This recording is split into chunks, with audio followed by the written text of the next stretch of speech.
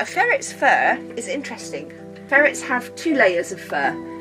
they have the under hair, which is very soft and normally paler, um, and that keeps them warm. It grows in warmer and fluffier in the summer, so you'll in the winter. So you'll find that ferrets generally get um, fluffier in the winter and also paler, uh, usually in the winter.